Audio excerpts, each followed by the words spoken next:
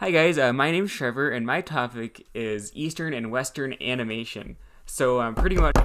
Whoa, oh my dandy, a video about animation? Who could have known? You just had to, didn't you? You couldn't help yourself, could you? Could you? I mean, come on. We all knew you were gonna do this. I mean, why? You could have just done something original. You could have taught yourself something, but you didn't. You just did the same old, same old. You, you big goober. You big, you big dummy. God. Continue. Okay, well, um, you you can shut up because um, this is my pre- my presentation and my video. So um, yes, I am doing this, um, and you can't stop me. So uh, no, uh, to begin with, I think it would be a good idea to define what the heck animation actually is, because in my experience, some people don't really know. Animation is the illusion of, motion through related images. According to me, this is what Google says. I'll put it up on screen right now. And um, you know what? I don't even need to give you examples, but just for clarity, here's a bunch of examples. Um, Mickey Mouse. Looney Tunes. Spang knob. Pokemon. Avatar. And last but not least, just about every high budget piece of media you interact with. Do you play video games? You interact with animation. Do you watch movies? Someone's got to animate that weird CG Hulk. Do you like Microsoft PowerPoints? You interact with animation. Do you like looking at me? This is a mask I used to tell funny jokes on the internet. I am not real. This is just a vague representation to me that I've created for your enjoyment. Everything I am doing right now is just an illusion of a false representation of me. Do not trust me. Do not trust anyone. Do not trust yourself. Your eyes deceive you. Well, guess what, kiddo? You're interacting with animation. And I really can't help but understate how big of a deal animation is because of how ingrained it is in our society. It's so universal, I can't even begin to describe its importance. Alright, and uh, just describe how important animation is to society, and uh, done. But, Mr. Trevor, I read the video title. Isn't this video supposed to explain the difference between animation in the East and in the West? When are you going to do that? I want. Okay, so listen, I know what you're trying to do. Shut up. Don't rush me. This is my. It's, it's happening, okay? Adios. Alright, and with that out of the way, animation in the East and in the West. Okay, so since this class is primarily focusing on China, India, and Japan, those are the countries I'll be talking about. Oh, right, I- am making this public. Um, everyone that's watching that is not in my Asian humanities class, um, welcome. You're watching a school presentation. I don't know how you got here, but welcome. Uh, okay, anyways, India. I'm starting out with India because it's not really what you'd call an animation hotspot, or I mean, they don't typically create homegrown animation. The type of they work is more outsourcing. Of course, by outsourcing, I mean that they do all the dirty work of animation, i.e., coloring and in betweens, which, if you've ever animated, you know is the worst part of animating. Um, and who outsourced them, you may ask? Well, the good old USA. After all, why do all the hard work yourself when you could just get someone else to do it for you for half the cost?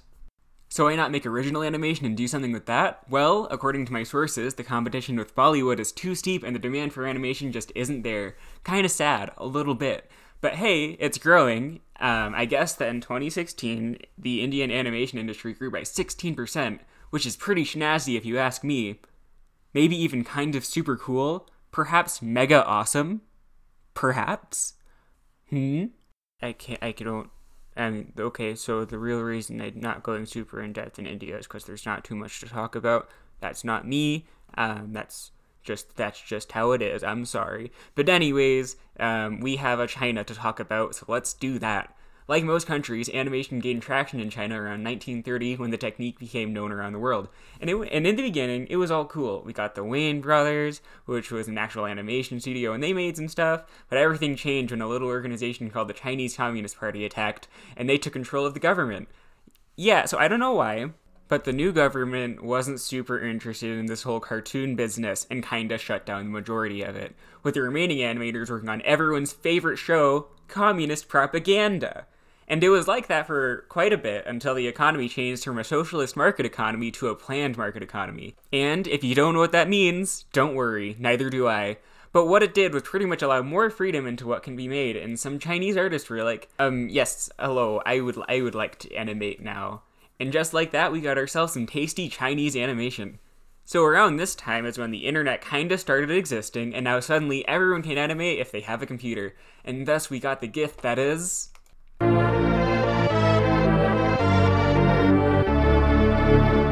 Flash animation. And for those of you who don't know what that is, Flash animation is very small scale animation that got its name from Adobe Flash. Yes, the Adobe Flash. And given how relatively easy the software is to learn and how low cost it is, just about everyone can animate now.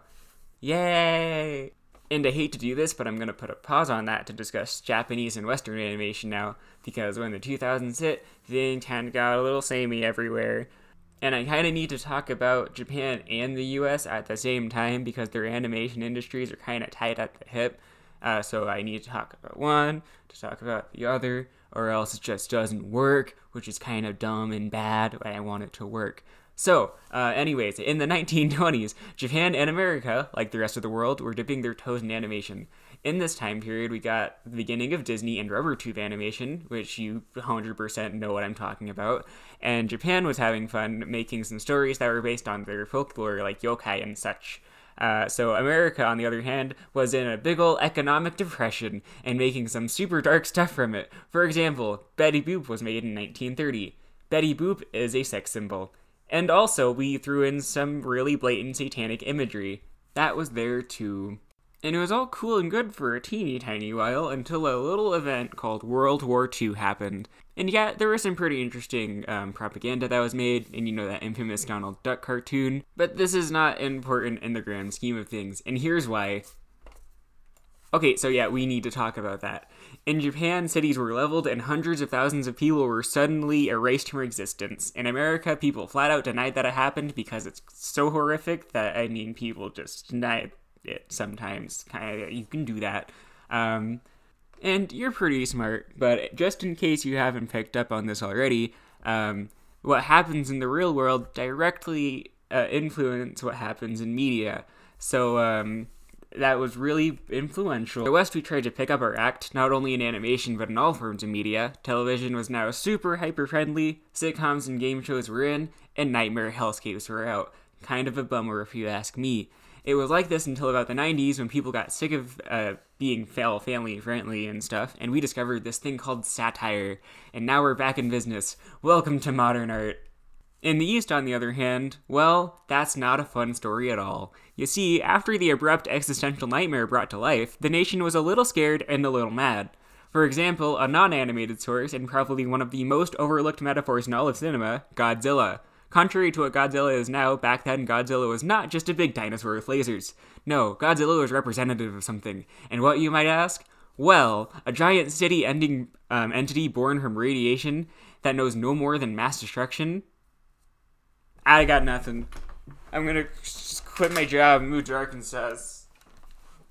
No ideas here. I'm done. This video's over. Okay, no, but in all seriousness, Godzilla was a pretty big deal. The culmination of years of suppressed sadness in one film, but in the end, it tells a different story. The people of Japan got up and start to rebuild their society. Society which is a pretty big statement and a great transition. Yeah! So, it was around this time that Japan really kicked animation into gear. With a kickstart in the economy, um, the industry had a lot of room to grow, and so it grew for a little bit. Um, one of the biggest hits um, was a series called Astro Boy, an episodic cartoon about a little robot friend that saves the day. Astro Boy began as a manga, a sort of comic book, if you don't know, in uh, 1952, and was animated in the 1970s. So now that you're looking at him, you may be recognizing certain elements about his style and design that may be making certain connections in your brain about what I'm going to talk about next. We're talking about anime. What? You don't want me to talk about the ultimate bridge between Eastern and Western audiences, a topic that is becoming more and more present as the years go by, and one of the last bastions of 2D animation. You're crazy. So, anime is pretty much just a fancy word for Japanese animation, but even that definition is being skewed because people can't agree on whether anime is a style or just animation from a certain country. Which is funny, because when you really break it down, anime is just a shortened form of the word animation, so it really just means animation doesn't really have any any any any Japan in that word. Um, so either way, it gets a special name for a variety of reasons. The biggest one probably being its style, followed by its general subject matter, and then probably by a few certain tropes that I don't like. And people in Japan really liked it about as much as anyone would like it. They saw it and said, "Yeah, that's pretty neat. And then they went on their way. And a few people in the US got their hands on it and said, Oh my god, this is the best thing I've ever seen. Please give me more. And a cultural bridge was born. Now, keep in mind, in the 80s and 90s, the internet did not exist, or at least it wasn't super universal. So, Western fans were very few and could only see what they could get their hands on. But then in the 90s, Pokemon happened, and now everyone kind of knows what animation on the side looks like. Uh, so now we come back to the internet, because it's the 90s now, and we got the internet and Flash animation Heck yeah! I, I, took a drink of water because um I, I just was it wasn't sounding good. Anyways, uh, so you know how I've been segmenting this video into like you know uh like countries. Well, I I can't do that anymore because with the internet you can talk to just about anyone in the world. So now we have this weird pseudo culture and everything's kind of meshing into each other. So there was this transitional period in the 2000s, but then with the advent of social media and online streaming services, animation from Red became progressively more available. And now, if you open your little cellular device that you got in your pocket right there, you can watch whatever the heck from wherever the heck from what whenever the I don't know. Animation is going nuts right now for two reasons. One, we have access for, uh, to inspiration from just about everywhere, and two, animation is getting cheaper to make. Do you want to know how much this video cost me? Hours of my life that I'll never get back. But other than that, it was pretty much free. So in animation, there's no style associated with any particular country anymore because animators can get inspiration from any country they want. Take, for example, the Netflix Castlevania series. Castlevania was a game that was developed in Japan and released worldwide in 1986. Its original style was very He Man esque, with incredibly strong men in very short um, clothing and a very gritty color scheme. But as the years went on, the style became more similar to anime. In other words, cleaner, sharper angles, and that weird way they draw faces. Until in 2017, it's got its own anime. Here's the kicker though that anime was developed in America. So this anime, Japanese animation, was developed by an American studio. So it's not Japanese animation. So it's not technically anime, but it looks like anime. So is it anime? That question is not important. What's really important is that it's becoming increasingly increasingly more difficult to define a country by a particular style. Okay, so that's all I really had to say about the internet and um, the vast majority of modern animation. So, um, Okay, so that's the super brief history of animation, and by that I mean American and Japanese animation with hints of Indian and Chinese animation at the beginning there. And I mean, to be honest, South America and Africa and Antarctica don't really animate all that much. I think I missed one, but I'm not going to pay attention. Um, the only big hitter I missed is Europe, but I'm not counting them, so this is a very brief history of all animation, minus Europe. Uh, Australia, um, but maybe I don't really care all that much. So ignore this part of the title and pay attention to everything that's not the subtitle. And I'm really bad at ending um, presentations, so we're going to have a staring contest.